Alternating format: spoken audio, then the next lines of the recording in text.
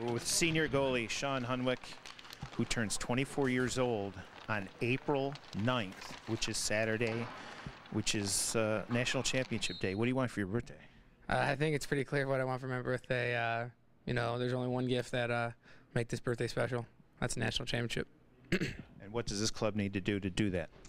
I think we just need to stick to our game plan. Um, you know, for 60 minutes, you know, come out hard in the first, and then sustain uh, our game throughout the whole the whole game, no matter what happens in the first period. Uh, we want to stay to our game plan. Um, we haven't really figured that game plan out yet, as we just arrived at the rink after last night. But uh, you know, I'm sure the coach will instill the game plan in the next 24 hours. It's interesting. I didn't believe you the other day when you said the approach. It's just another game. I didn't believe you. I didn't believe the. You know what? You guys really believe that, don't you? Yeah, I mean, you know, there's nothing really. You know, it's the same ice sheet. Uh, you know, we're playing for national championship, but uh, you know, at the same time, it's just a game. Uh, you know, it's a game we grew up playing and having fun. So our team's embracing just uh, going out and having a good time.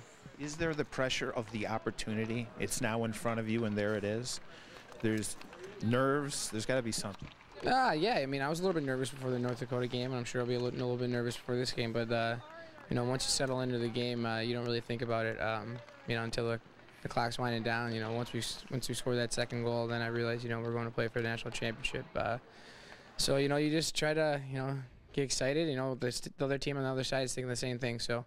Um, you know, it's not too much of a difference between the two teams, and yeah, it's just gonna be who can handle that pressure and play their game the best. Is it a hockey game? Is it literally all work, and you're just playing the game, and you'll soak it all up later?